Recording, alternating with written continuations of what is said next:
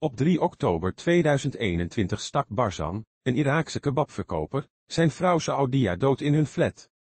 Er wordt gezegd dat alleen de dochter de vader ervan weerhield zijn daad te voltooien. Kort daarvoor had Barzan in een sportbar al een 23-jarige ober neergestoken. De laatste stierf onmiddellijk, de vrouw stierf twee dagen later in het ziekenhuis.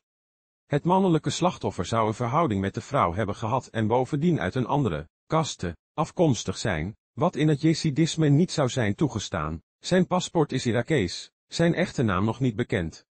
Na de twee wandaden gaan de families elkaar te lijf.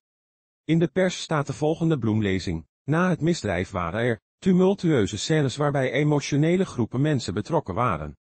De dader is s'nachts gearresteerd in Bremen-Greupelingen. De krijgszeitung citeert familieleden die zeiden, dit was een eerwraakmoord.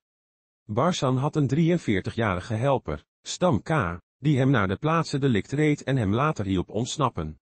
De laatste is ook Irakees en is ook gearresteerd. Bedankt voor het bekijken van deze video en het helpen opbouwen van een grote database met verhalen over eerwraak. Abonneer je op ons kanaal Onderzoek Eer